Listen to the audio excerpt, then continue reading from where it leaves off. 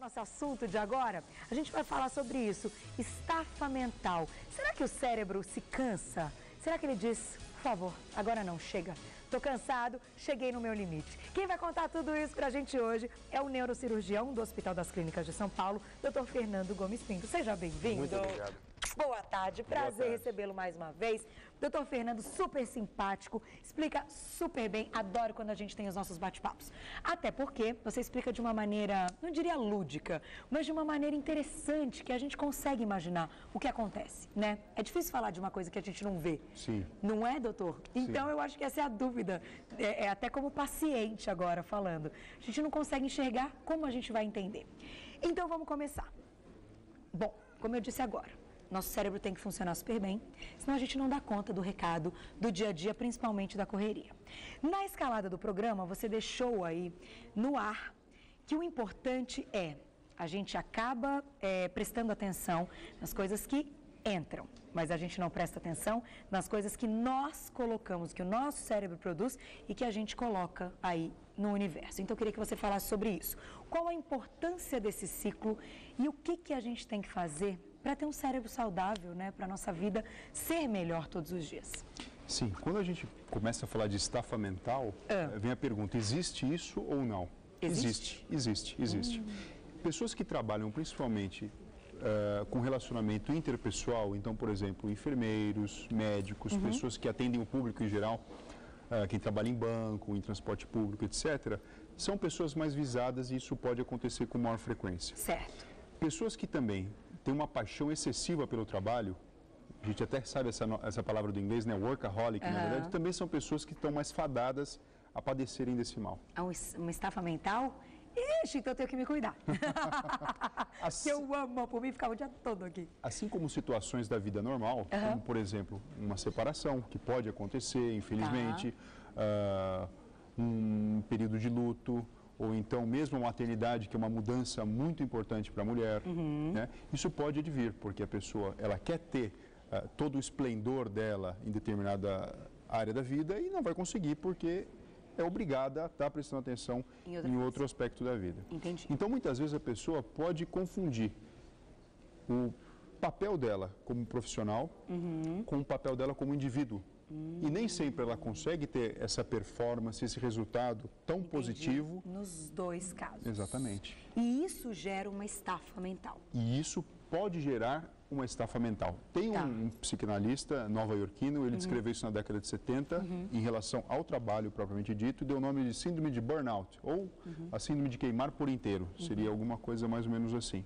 No qual a pessoa pode ter dor de cabeça, diminuição da concentração, Tá. ah, períodos de insônia. Aí, ó, estamos mostrando aí nas Isso. imagens. Pode mandar bala nas imagens, mas que vão ilustrar muito bem isso que o doutor está falando agora. fadiga crônica, Aham. ah, infecções de repetição, porque o nosso sistema imunológico está sediado na região do hipotálamo, que é o centro do cérebro. Tá. Então, ou seja, quem na verdade manda no nosso sistema imunológico é o nosso cérebro. Uhum. Então, se você não está bem, não está funcionando de forma adequada, você vai ter um problema imunológico também, Hum, isso está diretamente ligado. diretamente ligado. Que interessante. Em alguns casos, é necessário até tratar essas pessoas que podem evoluir com um quadro de ansiedade, Uhum. que é limitante, de depressão.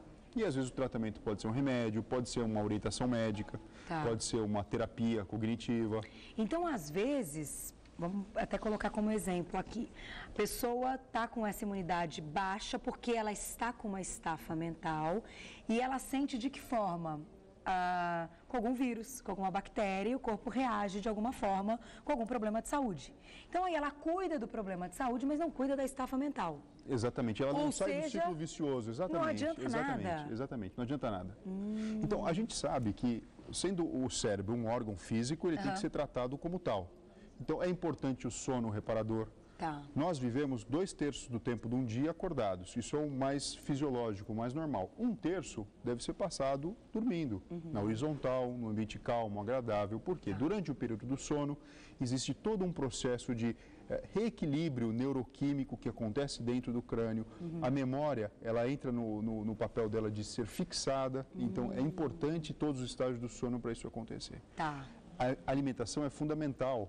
Não podemos trabalhar nem com níveis muito altos de glicose, nem com níveis muito baixos, porque o neurônio precisa de oxigênio e glicose para funcionar normalmente. Entendi. Então, pessoas que, que têm dormido pouco ou não tem dormido, tem trocado os horários, pode também ter uma estafa mental. Por exemplo, como eu falei, as pessoas que trabalham na área da saúde. Hum. Então, emenda plantão, etc. Que é o seu caso, né? Por exemplo, por isso a gente precisa se é. policiar. Ou seja, tá. fez uma cirurgia hoje que terminou 3 horas da manhã, é. no dia seguinte, enfim, é repor. legal você repor, ou então atrase um pouquinho a agenda, porque você tem que estar bem sempre. É como Entendi. você falou, a nossa vida é como se fosse uma maratona, uhum. não é uma corrida de 100 metros. Uhum. Então a gente tem que ser feliz hoje e sempre. Não adianta ser feliz apenas hoje. Entendi. A gente tem que é, prevenir aí esses Exato. problemas. Como cuidar, então, de uma estafa mental? Então. E até emenda uma coisa na outra, com esse calor insuportável. O que está acontecendo? Que calor é esse? Aqui no estúdio está agradável. Gente, graças a gente entrou no estúdio, está um arzinho delicioso, mas se eu for para o camarim agora, por exemplo, eu vou fritar, sair no corredor, a gente é. vai fritar. Isso também atrapalha? Atrapalha. E, Carol, não é só isso. O que, que a gente está vivenciando agora há uma semana? O horário de verão. Ah, é o horário de verão. Não é? Isso é um horror. Então. Ai, doutora, eu não gosto. Pelo amor de Deus. Ele me banana tudo. Quando a gente está acostumado, volta ao horário normal. Então, a gente tem um relógio biológico uhum. que fica também nessa região do diencéfalo, tá. que é um núcleo composto por 10 mil neurônios de cada lado. Uhum. E durante o dia, quando a gente tem contato com a luz solar, inibe-se a produção de um hormônio produzido na região da pineal, que é uma glândula mais profunda ainda do cérebro, chamado tá. melatonina. E com isso uhum. a gente fica desperto. Uhum. Quando você muda, ou seja, você se força a acordar uma hora antes, uhum. todo o seu ritmo do dia, que nós chamamos né, ritmo circadiano, deve ser mudado. Hum, entendi. Então leva-se um tempo de adaptação.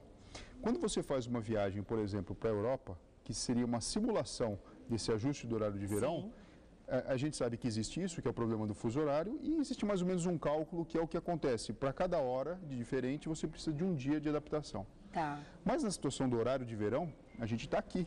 Hum. Não é verdade? A gente não foi para outra cidade, não mudou o ambiente, e, a gente e... simplesmente inverteu o relógio. Exatamente. Isso vai durar aí uns três, quatro meses, sim, né? Sim, Então a adaptação vai acontecer num período não de um dia, mas pelo menos de sete a dez dias. Junto com isso, com calor, sem sombra de dúvida, uh, vem essa sensação mais de cansaço e etc. Que é uma estafa, sim, pode sim. ser considerada uma estafa mental pode ser até evoluir para uma estafa mental se a gente não entender que é preciso repousar e que nós não vamos funcionar com a mesma velocidade, inclusive de memória, concentração, etc., do que numa situação que está tudo agradável, que todo o ambiente está agradável. Entendi. E aí, nesse caso, a gente deve, então, prestar atenção no sono. Sim. Beber muita água. Se hidratar, uhum. eu diria, não exagerar na, na, na, gestão hídrica, mas também não se privar de, tá. de, de tomar. E alimentação. E alimentação. Continuar com uma alimentação saudável. Isso, intercalado de três em três horas. Não esquecer da atividade física. Uhum. Eu costumo dizer mais ou menos o seguinte: a pessoa que cai, eh, infelizmente, né, aí na, na questão da estafa mental, ela não prestou atenção numa coisa básica. Ah. Nós temos basicamente cinco ramos da nossa vida que temos que prestar atenção. Certo, vamos lá. Vamos lá. Trabalho. Trabalho, sim. Segundo, família. E família, entenda-se, relacionamentos uhum. com amigos, com pai, com mãe, com marido, com esposa, com filhos. Certo. Uma etc. vida social. Uma vida social. Ok. Lazer. Lazer. Veja, lazer tão importante quanto trabalho e quanto família. Lazer. Concordo. Uhum. Junto com isso vem o bom humor, vem tudo, o prazer, etc. Tá saúde física e orgânica, que é o que a gente está falando, uhum. tá? E saúde financeira. Ah. Isso é um ramo da sua vida importante também. É verdade. Porque o dinheiro é um tipo de energia, uhum. né?